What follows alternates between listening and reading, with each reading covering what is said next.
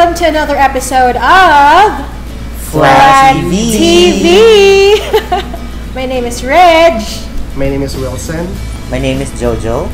Okay, and today um, is another episode, um, and we're going to continue with the Battle of the Divas Philippines edition. So this is going to be round one, match six. So who is going to be our contenders for this match? Uh, we have, uh, again, of course, two of the best singers in the country. We have Clarice de Guzman versus Acel Santos. Nice. Woo! Wow! Alright, so huwag na natin patagalin. Let the battle begin!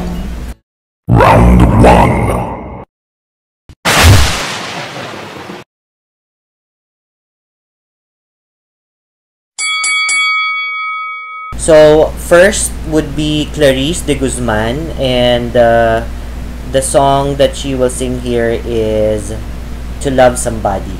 This is one of her signature songs. Okay. Ooh. Yeah. Okay. Okay. Alright, let's do this. Alright.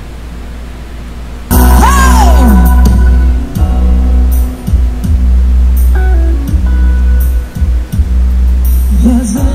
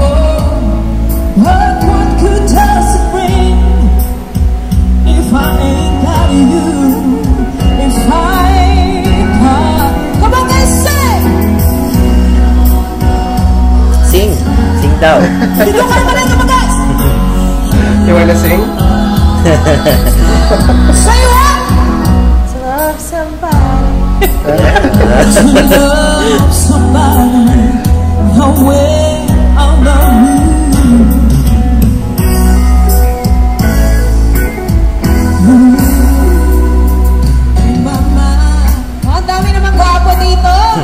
I see your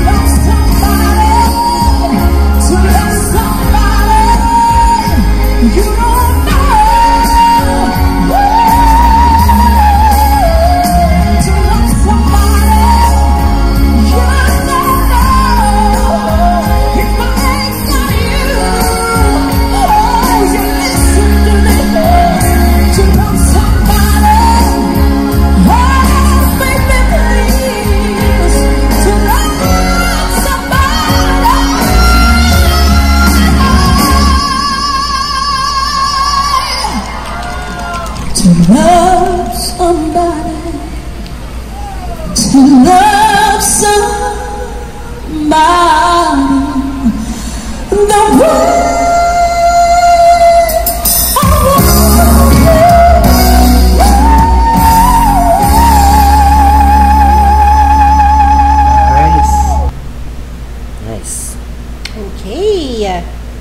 Galing. Galing. Mm, galing, galing. Okay. okay. So who's next? is Aisel Santos, and uh, her song here is I Believe I Can Fly. Oh. oh wow, one of my favorites. Yeah, one of my yeah. favorites, yes. Here we go.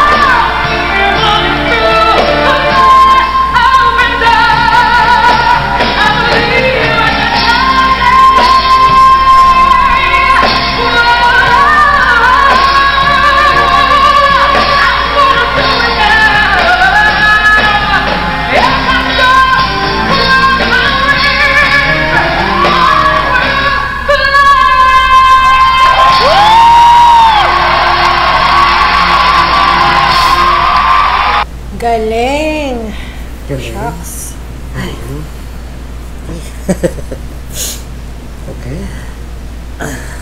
Let's start. Um, I want to comment first sa performance ni Clarice. Okay? Um, um, gusto ko yung performance niya actually ano eh. Uh, sobrang chill lang. Alam mo yan. Uh, uh. Chill lang yung vibe ng ano, ng the way na kinanta niya. Um, when it comes to settings naman, uh, same performance nila live, live niyang kinanta yung yung song niya as well as um, Hazel. Um, sobrang smooth dun sa latter part, um, dun sa kanta ni, ni Clarice. Um, I really like it. Um, however, kay Hazel, yung the way na kinanta niya to actually tong, tong I Believe I Can Fly, fly hindi ko to malilimutan yung the way na kinanta ni R. Kelly yung song. Um, halimbawa dun sa sa stanza, sa chorus yung mga lyrics niya kung paano yung tono. So I can definitely I am very sure na tong tong version ni Hazel she made it her own version. So different version siya. Pero nagkaroon ng different flavor to the point na bumagay yung yung pag-customize niya ng kanta dun sa voice niya. Also dun sa latter part, um, para siyang para siyang the usual na as you progress, um, nagbi-build up and then dun sa latter part, dun niya binirit. And um, sobrang na-amaze ako kung paano niya binirit dun sa latter part ng song. So, with that being said, um, my vote has to go to Hazel. Okay, Hazel Santos. okay. Sige, ano, I'll go next na. Sige, go. Ako na muna. Actually, this is a very fascinating duel. this is a very fascinating match because um, feeling ko lang naman ha, um, sila talaga yung halos magka-match eh. Because number one, for me ha, just for me, para para silang almost magkatimbre ng boses. You know, they they have like big round voice who can actually, you know, um, belt ng Yes. mataas talaga na very buo pa rin. Buo ang boses and very powerful. And, uh, you know, almost like black American women. That's how I, I see I would agree. two fine ladies. And so, I think talagang, for me, sila yung halos magka-match talaga. Um, Siyempre, they have their own strengths then, di ba? Na Yeah. sila lang ang meron, bawat isa lang ang meron. And, and that can be a deciding factor for us when choosing who we think should move forward to round 2, no? Pero siguro just to keep it just to keep this short, um si Acel, I've always I've always been a fan of Acel's voice. The voice quality of Acel is so rich and expensive. Sounds so expensive talaga. Um, I like her tone and her voice is very powerful and buo ang boses niya talaga. And then si Clarice naman on the other hand also has a has some depth in her voice. Pero mag kasi siguro ang fascinating kasi sa akin ang ang nafa-fascinate ako kay Clarice kasi is she has a very uh, big round voice. Pero when she belts, May hit niya. ang taas ng kaya niyang mahit na notes. Even her her head tone and falsetto is really like a soprano. Alam mo yon? Taas. Taas talaga. Alam mo yon? Um, and, and in this performance, siguro, um, kasi alam ko naman kayang-kaya ni Acel yung kinanta niyang I Believe I Can Fly. It was very, very brilliant, very good. Um, yung kay Clarice naman, sa simula, it was very chill. Akala lang natin chill. But she was giving um, some chops there. Um, you know, she, she, she has some nice belts there. And I think that siguro yung flexibility ng boses, mas nakita ko ng konti kay Clarice for this song because she was also able to perform, you know, uh, um, sing different styles like yung mga yung mga falsetto and head tone niya. 'di ba? She was able to showcase here. So siguro um siguro it's just uh for me medyo a little, you know, 0.001 point ang linamang ni Clarice kay Acel in terms of the overall performance and the vocal dynamics and siguro yung versatility ng boses. So, siguro for me, for me, for this particular song only, I will just have to give it to Clarice while I really like Acel so much. One, one. Wow. okay. Oh, Reg! Reg, you're the So I guess tiebreaker it's my turn now, huh? Yes. Alright. Nasa iyo ngayon so, ang nasa bola. akin. nasa akin ang bola. Okay. Well, actually, um, this is probably the most difficult um, uh, decision that I've ever made here in Battle of the Divas.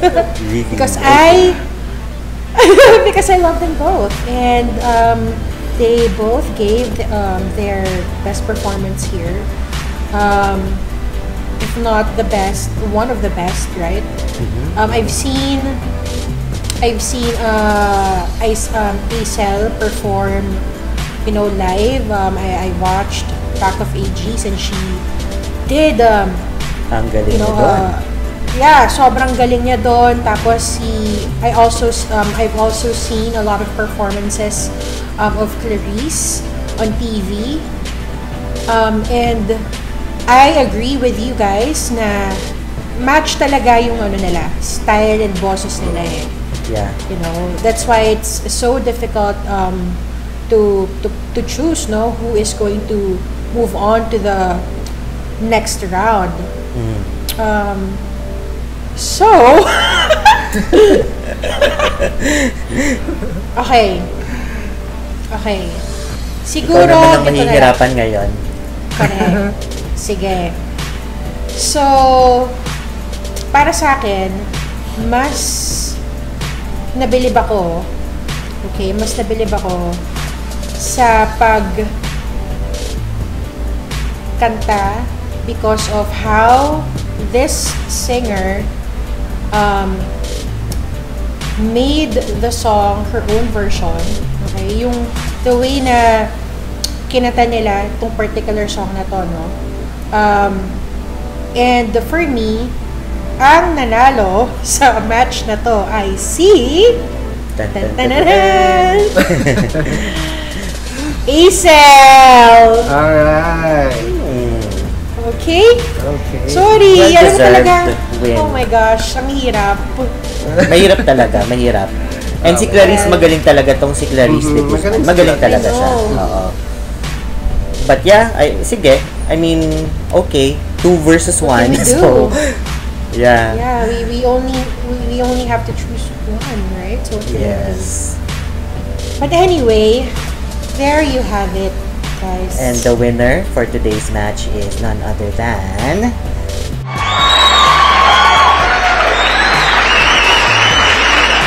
yeah, so there you have it. Okay, so guys, if you enjoyed this video, don't forget to give this video a thumbs up. And of course, don't forget to subscribe to our channel. And of course, don't forget to hit the notification bell button. And if you agree to our decision na si Acel ang mag-move forward sa next round, comment it down below. Now, if you would also like to see more of Clarice on the next round and you want to put her back, of course, you can do that by commenting your insights down below. Yes, and follow us on our social media. You know what to do. So thank you guys for watching. We'll see you again in the next one. Bye. Bye.